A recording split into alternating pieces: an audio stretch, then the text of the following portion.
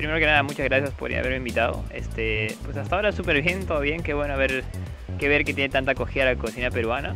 Y bueno, ya hice mi ponencia que tenía que hacer en el auditorio y estoy súper contento que la gente se haya llevado un poco de, lo que les vengo a mostrar aquí.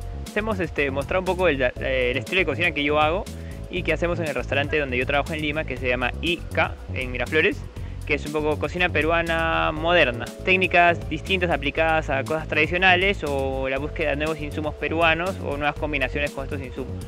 Es decir, por ejemplo, cocciones en, en costras de sal, de vegetales por mucho tiempo.